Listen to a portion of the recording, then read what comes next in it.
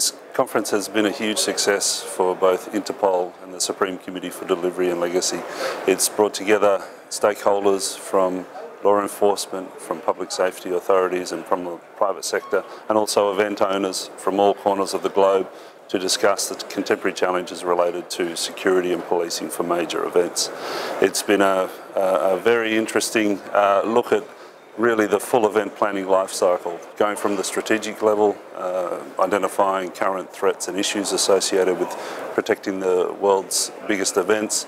now getting into some of the more specific uh, operational and practical information about how countries have uh, used uh, contemporary approaches to policing and security to protect major events. We're hearing from those who've hosted the most recent major events, the likes of uh, Brazil and, and, their experiences, which is actually unique, hosting the World Cup in 2014 and then the Summer Olympic Games in Rio in 2016.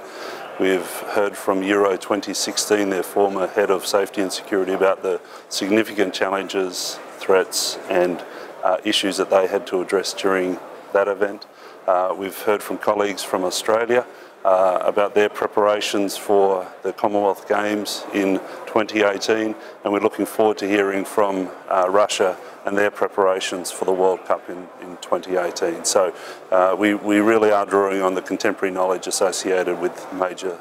sporting event and major event policing and security.